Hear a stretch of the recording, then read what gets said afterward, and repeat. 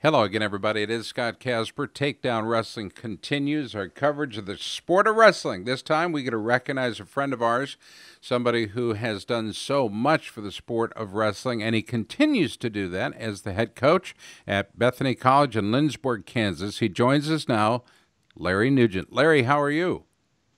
Scott, I'm doing great. I've had uh, my first cup of coffee. I think I'm I think I'm coherent.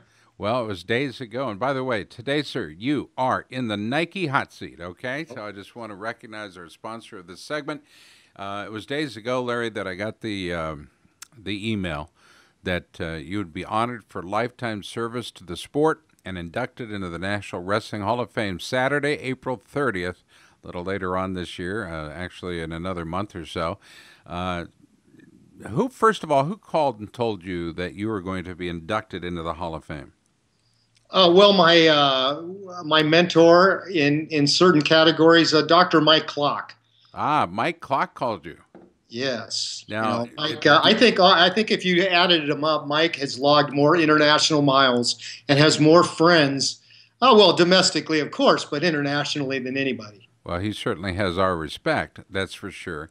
And this is, I want to make sure I'm, I'm clear on this. In order to get to the National Wrestling Hall of Fame, you have to go through local or state chapters. So the Oregon chapter, National Wrestling Hall of Fame, has not only nomi- nominated you, but will honor you for that lifetime service to wrestling honor. And, and it's because of your work. Now, let, let's just go through your work. Let's go back to you as a competitor. You earned All American honors at Southern Oregon College. You continued your career in both freestyle and Greco for several years. You're one of only three Americans to defeat, get this now, Olympic and world champ John Smith in open competition. Does he talk to you? Uh, of course. of course, you know, he stomped me quite a few times, Scott, so it's not like. Uh, you know, I, I, it's embarrassing to have that put into the biography. Most of this kind of thing is really hard to uh, to talk about because you know it's it's a, it's kind of a you know your introspective kind of thing, and that's sometimes hard, at least for me to talk about. But you know, John John did not have any trouble with uh, Larry Nugent. Don't worry about that. I did. I have to say that I'm you know not only uh, did I beat John in an open competition, but I beat one of the only other two Americans, uh, John Fisher. So you know, I was not a great wrestler, but I was in that group that's a neat group to be in. I mean, it is rarefied air, and and I know the folks at uh, Southern Oregon were proud enough of you to name you a coach at Southern Oregon College as well. What was that like coaching at your alma mater? Oh, I tell you, it was uh, it was so great. It was the biggest thing in town. You know, people say, "Do you want to be a small fish in a big bowl or a a big fish in a small bowl?" Well, I, I didn't really have much of a choice, but Bob Riehm really made wrestling important in in Ashland, Oregon, and I guess the peak of that was when we uh, put a team together that won everything all year. We won every dual meet. We won every open. We beat Oregon State in Corvallis. We beat Oregon at our home. We won all those open tournaments in California. You know, all the best teams on the West Coast were in there. Quite quite a year uh, at Southern Oregon back in those days, and they still have quite a legacy. Was it difficult to leave? And I think the progression uh, from Southern Oregon went to Pacific University. Is that right? Yeah, you know, really, the the rival uh, school for Southern Oregon was Pacific at the time. So, uh, you know, that was a challenge, and uh, you know, I I had to struggle uh, with that for just a little bit. But we ended up, uh, you know, Southern Oregon's a powerhouse, still is, and uh, but we beat them at home. Uh, and so that was kind of a satisfying thing. I guess I'm a little competitive, Scott. yeah, I'd say you are. I've actually shared a room with you. I understand how competitive you are. I looked in the bathroom, all the towels were gone. Yeah. so from Pacific University, you go to another prestigious university, this one, Brigham Young. And uh, that culture, obviously, very different. Um, what was it like coaching at Brigham Young? What was the culture there like? I loved it. It uh, a very structured place. You know, it's kind of a mm, guess you'd call it really a bureaucracy. And the thing I like about bureaucracies and institutions are that you can usually count on things. You know, there's there's not a lot of like a, a small college like I'm at now. You get surprised a lot. You know, you're because people are trying to uh, make things happen on that scale. They're there you know there's a lot of red tape, and at least you can count on it. You know where it's at. I really liked it, and and the athletes were fantastic. Uh, I've got great memories from BYU. Who was on your staff at Brigham Young? Well, it wasn't my staff. It was Mark Schultz's staff. I'm sorry. Who was on? the great Mark Schultz was the head coach there, and he asked me to come in and, and help him. So, and, for, and I was I was remiss in, in, in that, but uh, Mark at the time, uh, you know, it was a tragic time for for the sport and for the Schultz family, and and I got to believe that uh, there was some some challenges uh, because that was after Dave was was killed, correct? That was right during it. I can tell you, Scott, that uh, I know the Foxcatcher movie came out and it was shown the way it was, but I was the one that opened the office door to see Mark sitting on the floor with the telephone and the blood on his hands from hitting the wall, and and uh, that was that was uh, that was a terrible, to this day, a terrible, terrible time. A terrible time indeed. Uh, Brigham Young University uh, was the final stop uh, prior to uh, your next destination. We'll get to that in a moment. We're talking with Larry Nugent, who's become a very good friend of ours over the last, I don't know, 16, 17 years, I suppose. But he'll be inducted into the National Wrestling Hall of Fame Oregon chapter Saturday, April 30th. His plaque will proudly hang on the halls and the walls at the National Hall of Fame in Stillwater, Oklahoma. Let's move to your time as the Director of Development for USA Wrestling. You served in that position for some 13 years. For some, that's a lifetime. For you, did you get everything done you wanted to get done? No, no, no, no, no. I didn't. I I'm proud that when I left, our uh, private donor support and corporate sponsorship was at the highest level USA Wrestling had ever had. Uh, but you know, it really wasn't enough. Uh, uh, the sport of wrestling deserves everything it can get, and and uh, there were there were lots of ventures and opportunities that you know you you just can't follow up on for for one reason or another, and uh, so fabulous, fabulous experience. It's a pretty fast paced situation there at USA Wrestling, and although I, you know, pushed myself to and even put pressure on myself in the position I have now, it was a little different kind there. Little different time, yes, but uh, I, I, there's a bit of a background on you, I know, and that is that while you were searching for funding for the future of the sport, you also have a tremendous appreciation for the history of the sport. As a matter of fact, you, you have one of the greatest collections of video and film of uh, that, that chronicles the sport. Um, where does that come from? Where does the, the fascination and the appreciation for the history of our sport come from? Uh, it's really a fascinating story, Scott. One probably not too many people even know. In my case, I uh, I qualified for a team that went to Europe, and Dave Schultz was on that team. My brother was on that team. Bill Scherr was on that team, and we were on a KLM flight uh, over the uh, Atlantic Ocean and smoking was allowed at the time, and uh, so these re- us wrestlers were worried about you know health and making weight and everything, and there were people smoking all around us, and this one American noticed this, and uh, he started rearranging the the, uh, the the the seats. He knew like four or five languages, fascinating guy, and he started moving everybody around and and so that the uh, American wrestlers could sit where there wasn't smoke. Wow. And he, got to be a fabulous friend. We had a great conversation there, and became friends for years and years and years and years.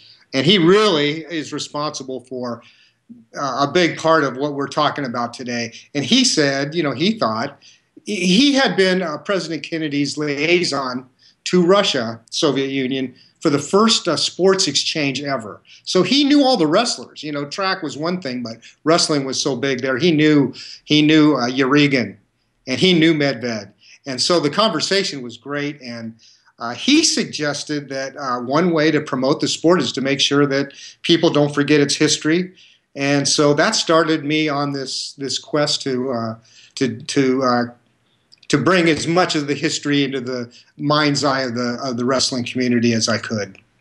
I think that is actually a fascinating story, and in this day and age, if anybody tried to move ever anybody from a seat with or without a stewardess or pilot's uh, assistance, it wouldn't happen. yeah, well, I, I would challenge you on that one because uh, my friend Tom Allen was a very persuasive guy. Uh, you know, people talk about wrestlers being tough and, and they could take you down. This guy could verbally take down anybody. Uh, anybody. Wow. He's a fascinating guy. I love that story. I love it.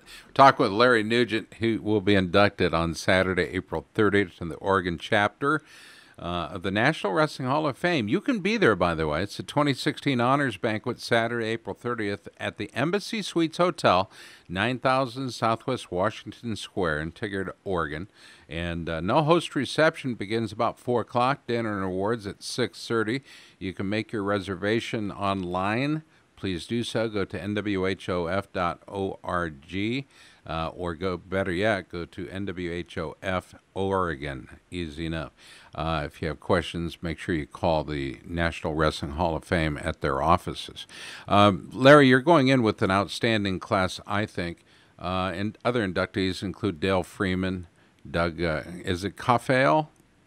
It is. Okay, and Ron and Larice Oaks, uh, Rich Rowland, the Medal of Courage recipient this year, Mike Reuter, uh, outstanding American, Dennis uh, Dennis Overholzer. Uh, and again, all their plaques will be on permanent display at the National Wrestling Hall of Fame in Stillwater. What's neat about this, it's the first step to to gain access, if you will, or to, to receive nominations and overall acceptance into the National Wrestling Hall of Fame. But perhaps the greatest um, uh, recognition, the greatest salute, is when it's your classmates and colleagues and fellow coaches and friends from the state where you made your mark, where you made your start. Would you say that's true? Well, yeah, you know, I, I don't know how interesting that is to people to have, uh, you know, people in the position like myself uh, uh, go back and talk about the minutia of, of, of, of, the things that motivated them throughout the rest of their lives. But it's the truth. Yeah, you're right. I think there's a lot of commonality, Larry, in what we do, and sharing of those stories can only help reaffirm that we're on the right track. Uh, and perhaps that's the most impressive part to me is that every day we are searching for new and unique stories. And for some, they are very unique. But again, we find that commonality. It all comes back to the sport of wrestling. You've done your part to help grow the sport. As a matter of fact, when you took the job at Bethany College in Lindsborg, Kansas, your eye was to grow the sport through the men's program, and with the future looking very bright indeed, to add a women's program. You're seeing women's programs grow across the country like crazy, aren't we? Absolutely, and we are uh, we are on a, a path to uh, start a women's program at, at, at Bethany College. Uh, we've had several conference calls. It's going to be a conference sport, number one. There's 12 college wrestling programs in the state of Kansas. So uh, that's pretty amazing. And uh, some of them have have uh, just been birthed, and and some of them have women's programs, and we will join that group. Uh, maybe it'll be a year, maybe two years, but it's it's on its way. It's all about good funding, quality, long term planning, uh, good stewardship, and the program that you currently coach, the men's program and the future women's program, should and could not have a greater steward than our good friend, our colleague, Larry Nugent. Larry, congratulations on a job well done. Uh, for being honored by your betters and your fellows. I think that's terrific. Uh, for the time you beat John Smith. I love that story. Larry, what would you like to add? What would you like to tell those? Uh, first of all, there's a nominating team. Uh, there's there are those that put your name forward. Then, of course, those that vote, vote for you, and those that'll show up to honor you. What would you like to say? Well, I have to I have to recognize my high school coach, uh, uh, Jack Olson, he brought a he broadened my horizons. He would bring in wrestlers that were from the outside that were really great from the University of Oregon and other places. Uh, my college coach Bob Riehm, big influence on me. I wouldn't be here without him. Um, Mike Clock, who you know he's been kind of guiding me for a long time in and out of the different places that I've been. Uh, you know, Rich Bender, uh, great great friend, and and and uh, now there's so many people uh, when you get into a position like this that uh, yeah, all my workout partners, you know, when you go back to that part of my life when I was competing, my brother Bill and my brother Dan and all my workout partners, Doug Samaron, who was he, we went all up and down the west coast in the country, you know, together competing and uh, you know uh, my wife Carrie, who puts up with uh, really unreasonable amount of wrestling stuff. Um, I mean, it could go on forever. One of my favorite uh, conversations is always with my good friend Larry Nugent. It uh, absolutely is. I can remember us talking to the wee hours of the morning about wrestling, the best ways to market it, to promote it, and it continues uh, to this day at Bethany College in Lindsborg, Kansas. Larry, congratulations from all of us in wrestling. Uh, please keep up the good work, and we'll look forward to talking to you very soon. Thanks, Scott. My pleasure, really. The Nike Hot Seat has had a very special guest today indeed. Larry Nugent will be honored, a lifetime service to the sport of wrestling, and inducted into the Oregon chapter of the National Wrestling Hall of Fame on Saturday, April 30th.